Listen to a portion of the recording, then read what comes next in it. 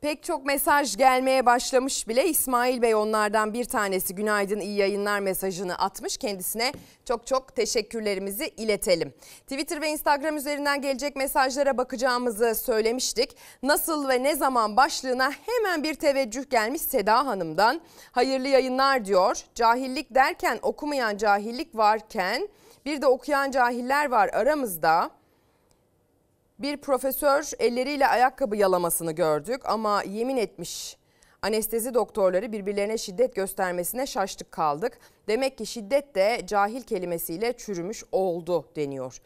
Seda Hanım farklı konuları bir araya getirdiği bir e, mesaj göndermiş. Cahillik filtresiyle gönderilmiş e, yorum. Evet yani okumak, diploma evet aynı fikirdeyiz temelde. Özetle aynı fikirdeyiz Seda Hanım. Evet her zaman okul okumak, koca koca okullardan koca koca diploma sahibi olmak maalesef davranışlarımızı aynı yönde etkilemiyor. Günaydın sağlıklı huzurlu sabahlar mesajları geliyor. Antalya'dan yağmurlu bir sabahtan Bülent Bey mesajı göndermiş. Birazdan hava durumundan bahsedeceğiz.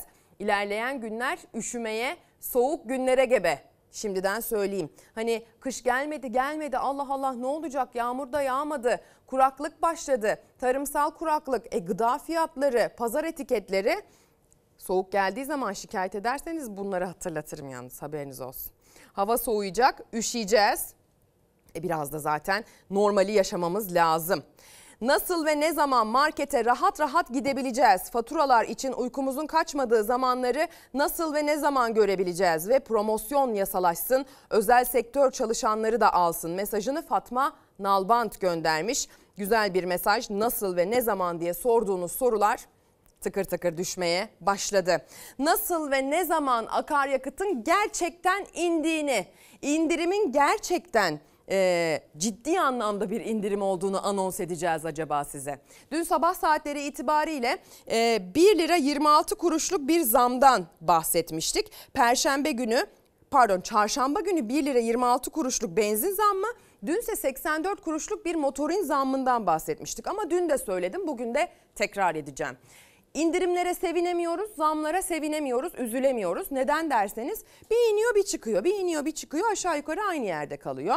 Tabii şimdi çifte bir indirim söz konusu 61 kuruşluk. E çarşamba perşembe gelen zammı henüz karşılamış dahi değil. Bakalım pompaya nasıl yansımış.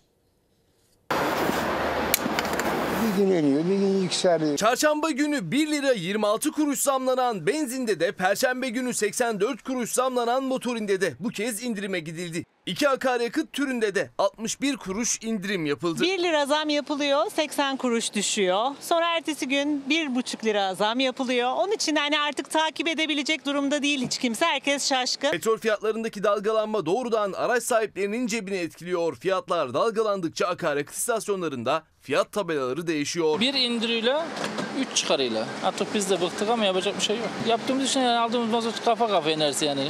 Kendi günlüğümüz zor çıkıyor. Her şey ortada çok pahalı. Çarşamba günü 1 lira 26 kuruş zamlanmıştı benzin. Gelen zammın yarısından bile az indirim Perşembeyi Cuma'ya bağlayan gece geldi. Benzinin litre fiyatında 61 kuruş indirim yapıldı. Aldığımız bütün parayı benzine veriyoruz başka bir şey değil. Mecbursun. Sabah işe gidiyor, malzeme götürüyor, malzeme getiriyor. Mecbursun. Benzinde 61 kuruşluk indirim yapıldı ancak salı gününe kıyasla 65 kuruş daha pahalı hala. Gelen bir zam ve bir indirim sonrası benzinin litresi İstanbul'da ortalama 21 lira 10 kuruşa, Ankara'da ortalama 21 lira 33 kuruşa, İzmir'de ise ortalama 21 lira 26 kuruşa satılıyor. 5 liraya giden kamyon şu an Samsun'a 15 liraya gidiyor. Adam ne yapacak yani bunu zebzeye koyuyor, adam bunu una koyuyor, adam bunu yeme koyuyor.